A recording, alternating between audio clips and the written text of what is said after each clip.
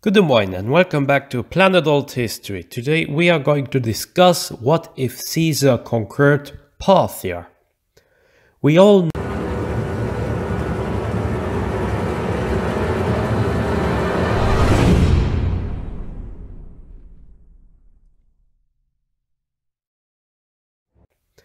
We all know who Caesar is, and we know about Parthia, right?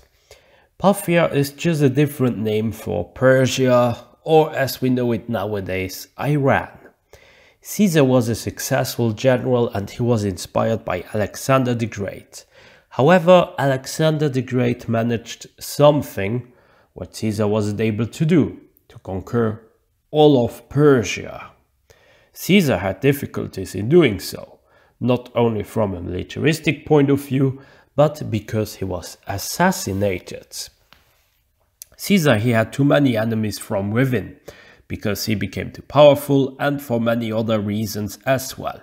I will now not explain which reasons they were, but I will just continue about this specific alternate history. In this video, I will focus on this alternate timeline in where Caesar wasn't assassinated and when we look at his military achievements, we can say that Caesar would definitely be the best person to go and conquer Parthia.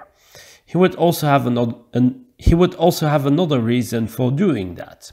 Crassus was fighting against the Parthians but he lost. Not only that, but he was killed in the battle against the Parthians.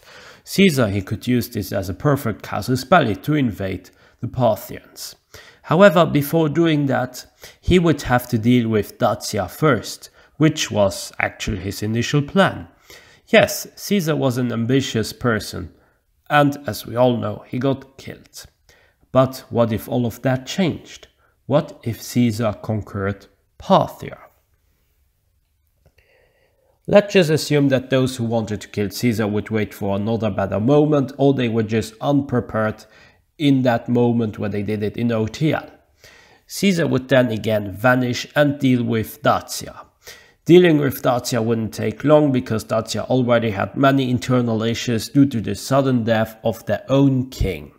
He died in the same year as Caesar did in OTL, but since in this alternate timeline Caesar isn't dead yet, well, Caesar would be well and alive and conquer all of Dacia. As a result, Caesar could rapidly go on with his invasion of Parthia. Now, Plutarch claimed in his writings that Caesar would not only take over Parthia but continue with the pacification of Scythia, Germania, and then he would go and return to Rome.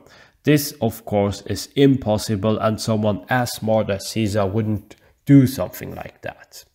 Caesar knew where the limits were and he had to eventually come back to Rome in order to secure his position and his power.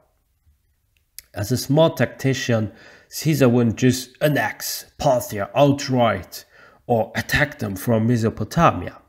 Caesar would instead make a stop in Armenia. Why Armenia, you may ask? Armenia was an ally of Rome, and Armenia may even give Caesar some soldiers, and Caesar could also have some camps or a rest in Armenia. And also attacking Parthia from Armenia would be a better option than attacking from Mesopotamia, because usually Mesopotamia was taken over by powers that came from Parthia. Caesar would, as a result, attack Parthia and win all of Mesopotamia. Armenia would also expand a little bit. Caesar wouldn't like to make endless campaigns all over Parthia and he would be satisfied by taking revenge against the Parthians, strengthening the position of Rome in the east and creating a lot of chaos in the Iranian plateau. As a result, he would then go back to Rome, where he would try to secure the stability of the empire, and eventually his nephew Augustus would take charge. Yes, we will still see a period of instability as in OTL, but eventually Augustus would impose himself. But Trier would not be founded in Germania. Actually, Germania would become largely forgotten, and we may see an earlier shift to the east. Augustus may found a city similar to Constantinople, which would instead become Augusturum or something similar. What are the consequences of that? Well, for starters, Parthia was a richer place and far more valuable than Britain, for instance. As a result, Britain may not even be conquered in the long run by Rome because it would just simply not be worth it and cost a lot of soldiers. Rome would sometimes venture in Parthia because some tribes or cities would become too powerful and slowly but surely they would conquer almost all of Parthia. Germania could later on see different types of Roman invasions, but not because the Romans wanted to conquer, but because they wanted to secure their position in there and play out the geographical cards by uh, conquering places that were close to rivers, such as the Rhine River. Without Britain, but several additional territories such as Mesopotamia and Chaos in Parthia, Rome would have more manpower to deal with their western borders. Remember, many soldiers they were drawn from different parts of the empire and they were sent in faraway places that were not their home. You would see also an earlier omnipresent division between the west and the east, which could lead to an earlier Western Roman Empire and Eastern Roman Empire. But as for that moment in this alternate timeline, the Pax Romana would become even more influential. Greek would even gain in importance, and we could see Persian scholars going to Northern Africa, Rome, or Augusturum, while Roman scholars they would then go to Persia, for instance. Someone like Augustus could include the Persians in the Roman idea, in this Roman identity, and he could make efforts in integrating the Persians into the empire. They could eventually become citizens as well.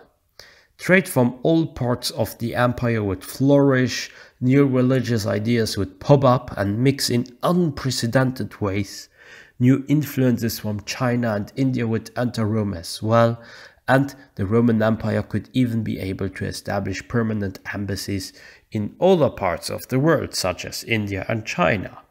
Another possible invasion we could see would not be the one of Germania or Britain, but of Arabia.